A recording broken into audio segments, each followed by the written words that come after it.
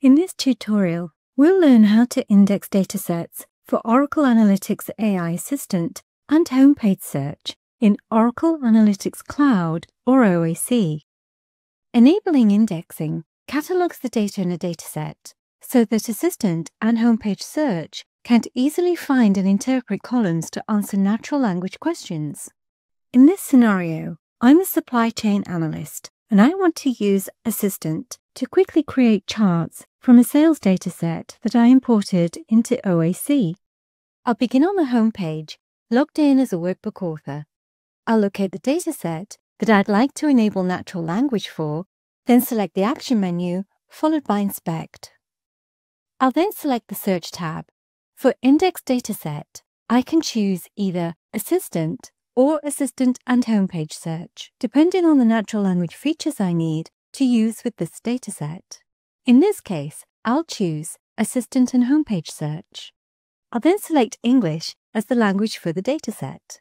Now I see the attribute columns present in this dataset, along with a column of checkboxes for index, index type, and synonyms. I'll only keep the columns that I want to index selected. For attributes, I can choose to index by name or name and values. For measure columns, I can only index by name.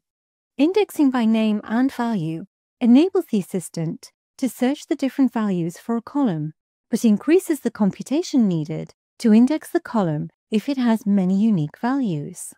I can also define synonyms for each column, which are alternative names that the columns might refer to.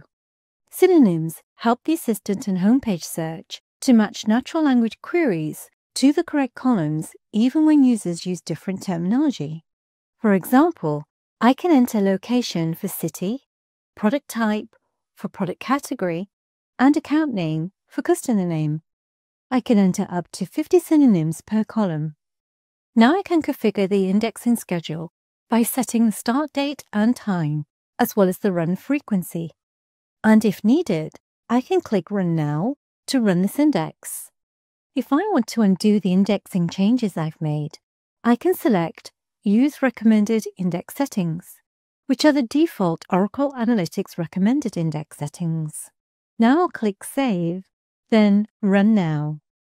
After a few minutes, the indexing is complete, and I'm ready to use natural language features like Assistant and Homepage Search with this dataset.